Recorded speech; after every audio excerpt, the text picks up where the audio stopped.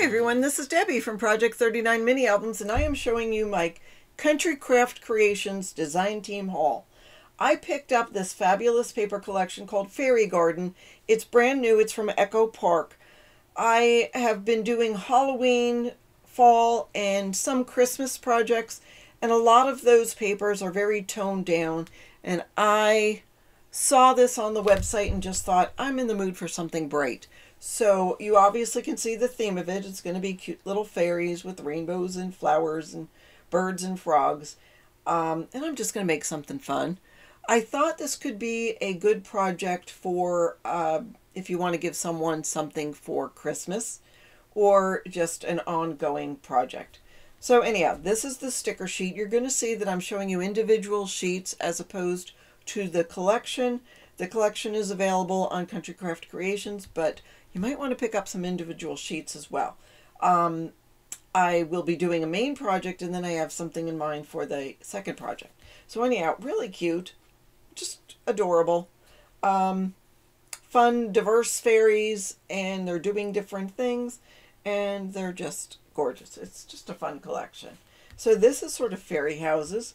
I like that. I think uh, it's pretty. The colors are, are pretty too. Sort of has like a Williamsburg blue and then a really bright pop of a dark pink and a light pink and a very pretty uh, sort of a Hauser green. I don't know what color green you would call that. Moss green maybe. Um, very pretty colors.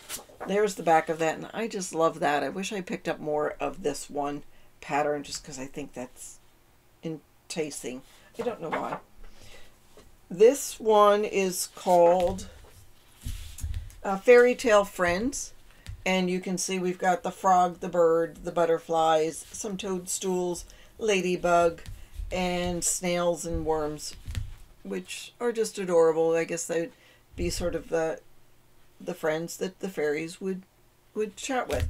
And the back side is this pretty uh, green check. I have these probably all turned upside down, but that's okay. So this is 4 by 4 cut aparts. The backside is stripes. I will be using those in my um, second project, a couple in my first project as well. I love using these for the cover of my projects. I love using the cut aparts, but I've got other, other things in mind this time. This one is called Toadstools. what's the full name of it? It's called Blooming Toadstools. And obviously here's the backside of that. Don't you love them? Beautiful. This is Wondrous Butterflies, which if you're going to have fairies, you have to have butterflies. And then the backside is a tone-on-tone -tone yellow polka dot paper. Uh, Fantastical Fairies so here they are. Um, there's movement to the paper because of the swirls. There's dots and flowers in the background as well.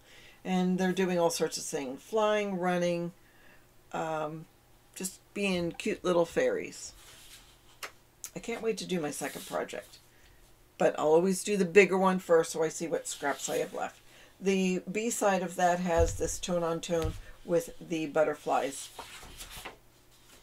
this is the flower paper. This is called Enchanted Florals. I love these whimsical flowers. They're just so fun and pretty. And the back side is more tone-on-tone -tone flowers. I love that pink. That is really my favorite color. I guess it was so good I got two of three of those. Um, here we are with the Garden Rainbows. Now this is going to be featured prominently predominantly actually in the a second project.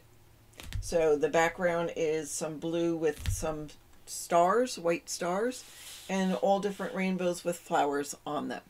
I just think the image of that is beautiful. Uh, journaling cards, here's the back side and here's the front. So these are different sizes. You have 2 by 2 4 by 6 in the landscape, 4 by 6 in the portrait, so these, um, these I'll be using, but I also like this paper. This might be one of the back covers. I am not sure. I just saw that. I saw this paper and I just thought wouldn't you love to have a garden that is filled with flowers like that? Just a carpet of different colors that commingle and just get along and they're just beautiful. This is called Magical Blooms paper and the B-side is green tone on tone again. More journaling cards with more flowers in the background. This one has border strip of fairies and border strip of rainbows. a couple of 4x4 cut aparts. Um, this is nice for a little journaling card. So these are pretty. And this is more 3 by 4 journaling cards. If I realized how gorgeous this was, I would have picked up a couple more of this one because the plaid is gorgeous. On the back of that, or actually this is the front, that's the back, there are 3 by 4 uh, journaling cards. And then I picked up some coordinating cardstock. And, and with the Echo Park, you're going to get two colors, one on each side. So this is the pink and the blue. It's light pink and the blue. And I've said it before and I'll say it again, get the coordinating cardstock. It just will save you from headaches from going in your stash trying to match things because this matches perfectly. This one I picked up a couple of, dark pink and yellow. These are great for photo mats, for when you have so much paper with a lot of different patterns, it gives the eye a chance to rest on a page if you include some blank areas. And if it coordinates, it makes it even better. Um, of course, you'll put photos on there, but it photos always look nice when they're matted.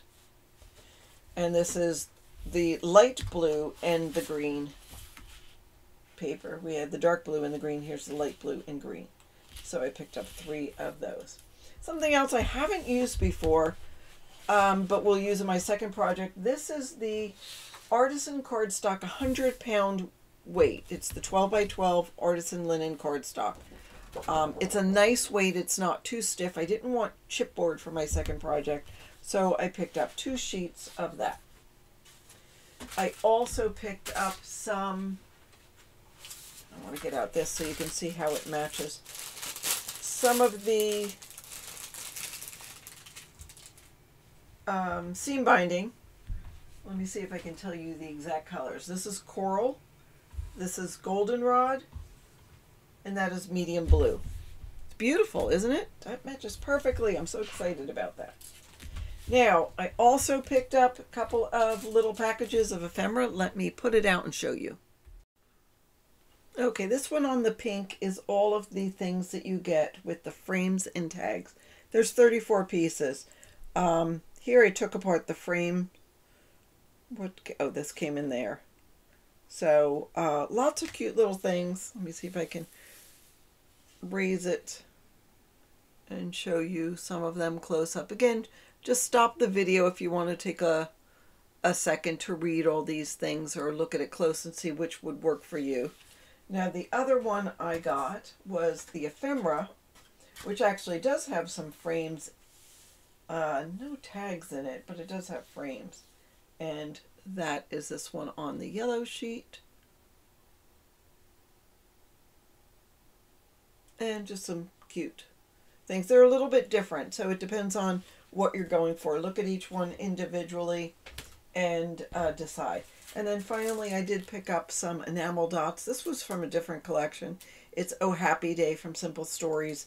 Um, the orange won't match, but the other colors will go okay uh, with it. There also was Doodlebug rhinestones. So if um, you want something to match, check that out in Country Craft Creations. So that is what I have to show you. All of these different, um, I'm looking for my stickers to put that on top, but is it here? Yes. All of what I received for my design team package for Country Craft Creation for November 2023. Don't forget to like, subscribe, hit the bell for notifications so you know when I finish this project. It is the beginning of November. Actually, it's Halloween when I'm recording this but uh, it will be done fairly soon. So thanks so much for watching and have a fabulous day.